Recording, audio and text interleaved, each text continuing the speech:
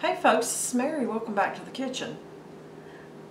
A lot of people can and preserve food. Well, I'm going to show you a twist on something to do with your green beans. Okay. I have just a regular quart jar of green beans that I canned. Okay. I already have one. I opened it in the sink to let it drain, but I just wanted to show you, you know, home canned green beans. Okay. I have my pan. I'm putting it over medium heat.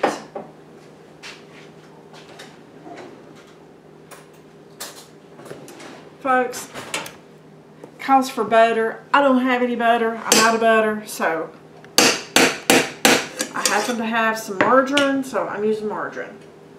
But butter is better.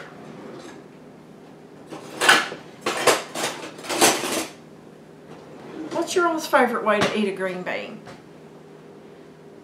I really honestly don't know what my favorite way is. I love them. I like them cooked, I like them roasted, I like them wrapped in bacon, and I really like them fixed this way as well. Okay, so I've got probably about three or four tablespoons of butter. Don't worry about trying to get the uh, written instructions, guys. I'll give it to you. Okay, I have onion, bell pepper, and garlic. You can use any color onion or any color bell pepper that you want.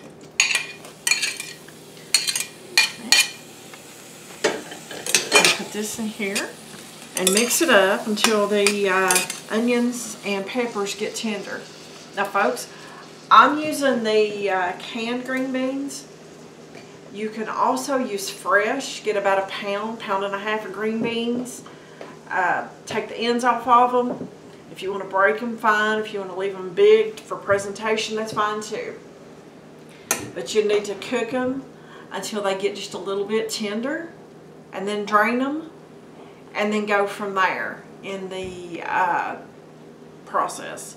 But I chose to use what I already had canned to make it fast and easy and use what I have.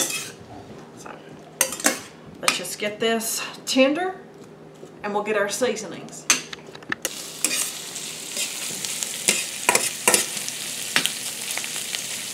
Okay, our peppers and onions and garlic have sauteed until they started to get nice and soft. So I'm going to dump our green beans in here. Get that last little thing there. Stir it up. Guys, this smells so good. It really does. Now folks, the seasonings are to your taste. Everybody has a different taste, so I'm going to put just a little bit of black pepper. We don't use a lot of salt here. If you like a lot of salt, load it up. We don't. I use either sea salt or pink Himalayan sea salt. This is the pink. And just a sprinkle of the crushed red pepper. You guys always have to look and see where the little holes are in the lid so you'll know which side to open. I do.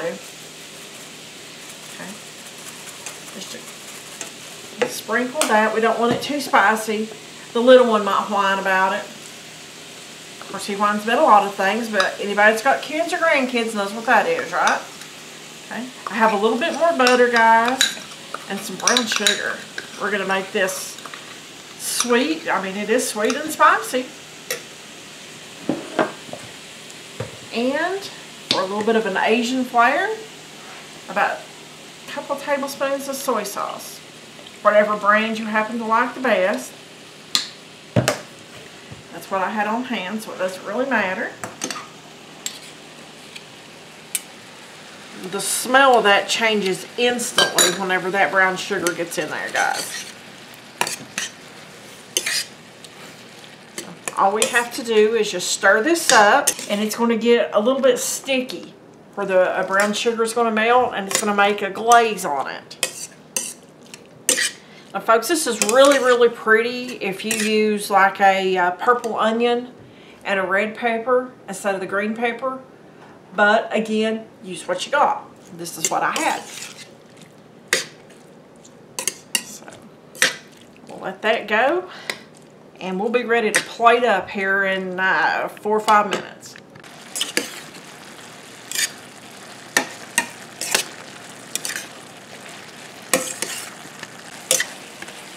All right, the uh, beans and onions and peppers have cooled, uh, have cooled.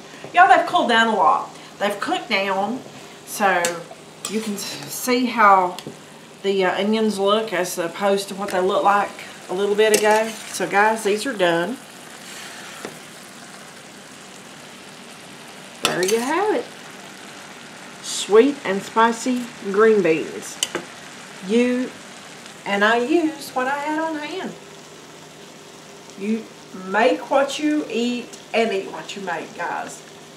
Thanks for watching. I really appreciate it. I hope you like the video.